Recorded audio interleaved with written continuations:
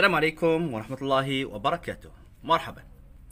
اليوم إن شاء الله مع درس آخر من دروس شرح نظم الآجرومية. سنأخذ اليوم إن شاء الله درسان.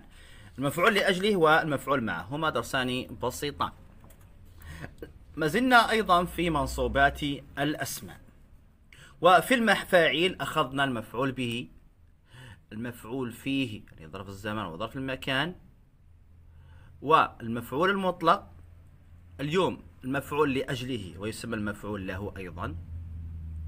والمفعول معه. ما هو المفعول لأجله؟ انظر مفعول لأجله يعني فعلنا فعل لأجل كذا. قال الناظم وهو الذي جاء بيانا لسبب كينونة العامل فيه وانتصب. يعني جاء بيانا لسبب القيام بالفعل. ويأتي منصوب. إذا ما هو المفعول لأجله؟ هو مصدر منصوب يذكر بيانا لسبب وقوع الفعل. سافرت إلى مكة رغبة رغبة في الحج.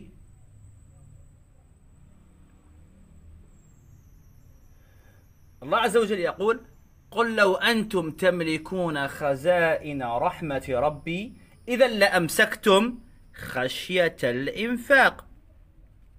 خشية الإنفاق. زين. ومن الناس من يشري نفسه ابتغاء مرضات الله. لأجل مرضات الله. يجعلون أصابعهم في آذانهم من الصواعق حذر الموت. إذا هذه كلها أمثلة للمفعول لأجله.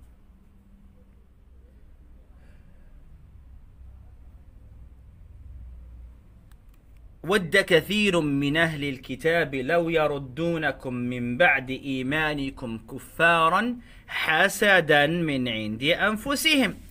لاحظ حذر رغبة خشية ابتغاء حسد. هذه المصادر تصدر من ماذا؟ تصدر من القلب. تصدر من القلب. حبا كرها بغضا خشية رغبة. رهبة طمعا احتراما تقديرا. حذرا جبنا تأديبا حسدا. هذه كلها تصدر من القلب. إذا المفعول لأجله ما هو؟ هو المصدر القلبي المنصوب الذي يذكر بيانا لسبب وقوع الفعل. طيب كيف نعرفه كيف نعرفه عن المفعول به نعرفه بالسؤال بماذا؟ اشترى محمد ماذا؟ كتابا. نفعل لأجله نسأل السؤال آه مثلا الحال نسأل عنه بكيف؟ نفعل بأجل أجله نسأل عنه بماذا؟ نسأل عنه بلماذا لماذا؟ علامة المفعول لأجله صحة وقوعه جوابا عن سؤال بلماذا هاي. كقمت إجلالا لهذا الحبر الحبر هو الواسع في العلم. حبر. ولعلمك أي كلمة فيها حرف حروف الحاء والباء والراء تدل على الواسع ألو... يعني ال... يعني السعة حبر واسع في العلم بحر يعني واسع رحب صدر رحب واسع. إلى غير ذلك. كقمت إجلالا لهذا الحبر. لماذا قمت؟ إجلالا. ها سألت عنه بلماذا؟ وزرت أحمد ابتغاء البر. لماذا زرت أحمد ابتغاء البر؟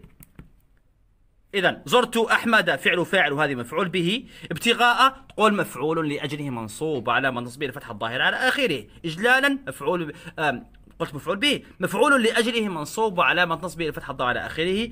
إجلالا مفعول لأجله منصوب وعلامة نصبه الفتح الظاهر على آخره. خفضت صوتي احتراما لأبي. لماذا خفضت. خفضت صوتي احتراما لأبي؟ إذا احتراما مفعول لأجله. بسيط جدا المفعول لأجله. باب المفعول لأجله وهو الذي جاء بيانا لسبب كينونة العامل فيه وانتصب كقمت إجلالا لهذا الحبر وزرت أحمد ابتغاء البر. طيب هذا المفعول لأجله. المفعول معه. ما هو المفعول معه؟ يعني فعلنا الشيء بمعية شيء آخر.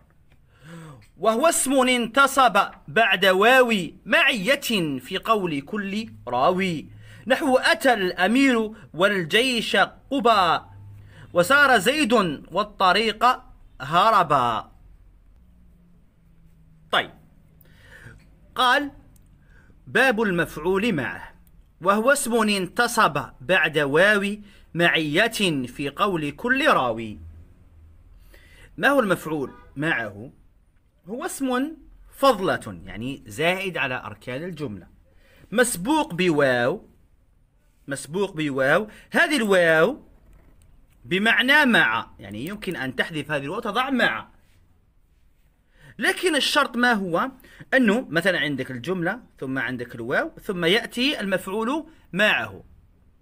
يشترط في هذه الجملة أن تحتوي على فعل أو اسم فيه معنى الفعل. هذا الاسم الذي فيه معنى الفعل مثلا يكون اسم فاعل اسم مفعول ولا مصدر. اسم فاعل واسم مفعول أو مصدر.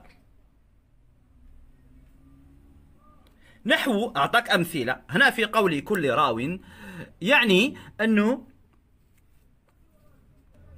علماء اللغة يعني يجمعوا على أن المفعول به المفعول معه منصوب.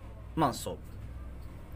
نحو أتى الأمير والجيش قباء. قباء يعني قباء مكان قريب من المدينة.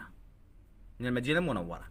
أتى الأمير مع الجيش. هنا أنظر سبقها فعل. جملة التي قبلها يعني فيها فعل. أتى الأمير والجيش.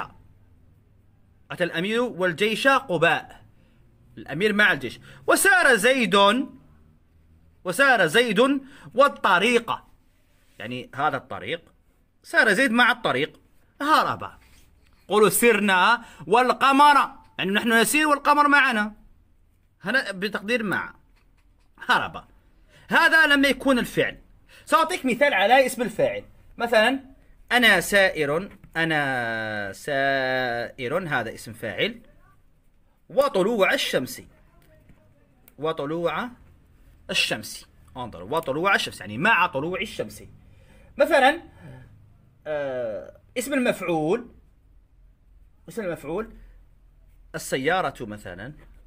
السيارة متروكة. انظر متروك مفعول. والسائقة. يعني مع السائق. مثال المصدر مثال المصدر مثلا يعجبني. سار يسير سيرا. سيرك وطلوع الشمس. يعجبني سيرك وطلوع الشمس.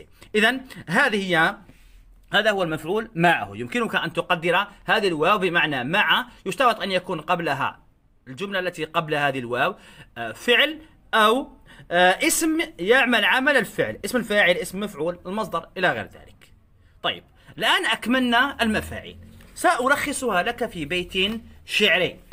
سألخصها لك في بيت شعري. هذا البيت هو ضربت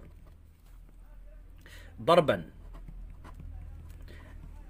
أبا زيد غداة.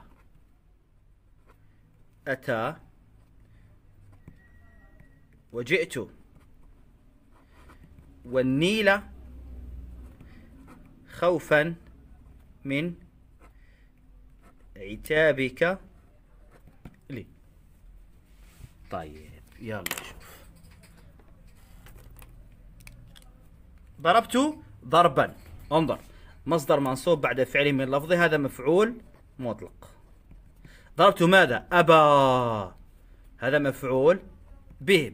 أبا زيد غداة. هذا مفعول فيه. ظرف زمان. وجئت والنيل. مع النيل. وجئت والنيل هذا مفعول معه. لماذا؟ خوفا من عتابك لي. هذا مفعول لأجله. إذا هذا بيت جمع لك المفاعيل الخمسة. ضربت ضربا أبا زيد غداة أتى. وجئت والنيل خوفا من عتابك لي. هكذا بقي لنا درس واحد سنتمه غدا إن شاء الله. وهو باب مخفوضات الأسماء. هو درس بسيط بسيط جدا. آه نعم سنتمه بإذن الله غدا. جزاكم الله خيرا. بارك الله فيكم. السلام عليكم ورحمة الله وبركاته.